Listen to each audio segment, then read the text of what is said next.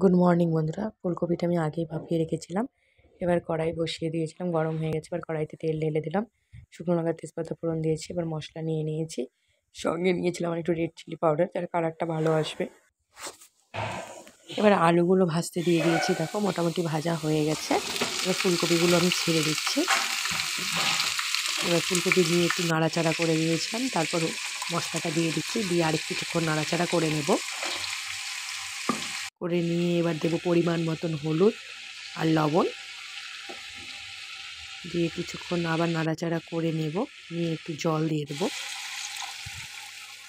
এবার দেব আমি একটু চিনি আর দেব গরম মশলা গুঁড়ো।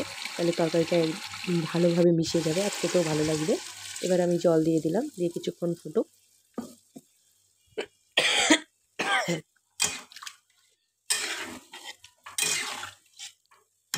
হয়ে গেছে মোটামুটি ভালোভাবে ফুটে গেছে। এবার আমি ঘি দিয়ে দেবো ওর মধ্যে।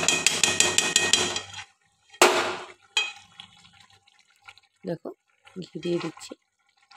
এবার আর একটু দমে আসলে এবার নামানোর আগে দিয়ে দিচ্ছি ধনে পাতা কুচি।